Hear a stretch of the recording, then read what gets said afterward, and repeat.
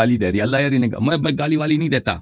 یہ کس نے مشہور کر دیا دو جماعتوں نے، مولیوں نے، شیعہ مولیوں نے اور مخالفین کے مولیوں نے۔ یہ کہتے ہیں اللہ یاری گالی دیتا ہے، گستاخی کرتا ہے۔ اور بھائی، میں آپ کی روایت پڑھ رہا ہوں، حدیث میں یہی لکھا ہے۔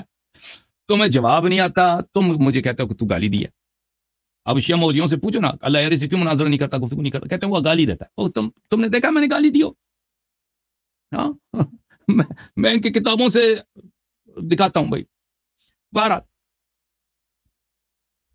اسما کہتی ہیں لما توجہ رسول اللہ صلی اللہ علیہ وآلہ وسلم جب رسول پاک صلی اللہ علیہ وسلم مکہ سے مدینہ گیا ابو بکر بھی ان کے ساتھ گیا میرے جد میرے دادا ابو قحافہ وہی جو عبداللہ ابن جدعان کے ملازم ہیں شکلے میں وہ میرے پاس آئے وقد ذهب بصره نابینا بھی تھے فقال ان هذا والله قد فجعكم بماله مع نفسه اس نے اس نے مصیبت کرا کر دیا رونا دونا شروع کر دیا یہی دادا نے ابو بکر کہ یہ سارا پیسہ اپنے ساتھ لے کے گیا۔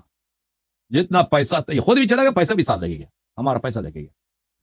فقلت كلا يا ابتي فقد ترك لنا خيرا كثيرا فعمدت الى احجار فجعلتهن في كوة البيت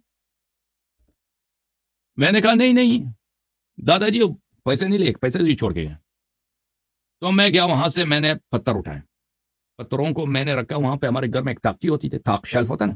شیلف وہاں پہ ہم لوگ اپنے پیسے ادھر ہی رکھتے تو وہاں پہ میں نے وہ وہ پتھر رکھتے ہیں، اس کے اوپر میں نے کپڑا ڈال دیا۔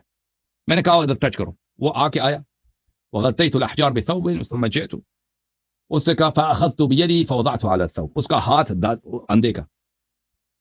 ہاتھ لے کے آیا، میں نے وہ کپڑے پر رکھا۔ میں نے کہا، کپڑے کے اندر پیسے ہی پیسے اس میں سکے ہی سکے، سونا چاندی۔ ہاں تو یہ خوش ہو گیا۔ فقال، اما اذا ترك هذا فنعم۔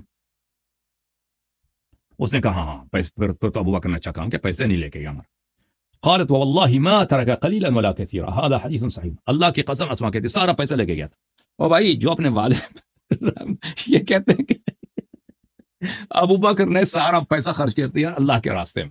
وہ بھائی اپنے والد کے پیسے بھی اٹھا کے لے گیا تھا۔ جو اپنے والد پہ رحم نہ کرے۔ اور پھر کہتا ہے اس کا فرار مجھے دکھاؤ۔